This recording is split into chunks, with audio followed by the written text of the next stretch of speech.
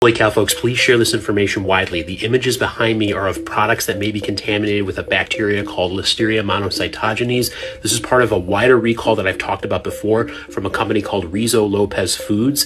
These products are cheeses, salad dressings, etc. There's actually over 100 different products that are involved in this recall that can make people very sick, especially if you're babies, elderly, immune compromised, or pregnant. The FDA has published 24 pages of stores that may have been affected by these recalls. This is nationwide. It's a massive recall, but this is important because listeria infections can make people very sick.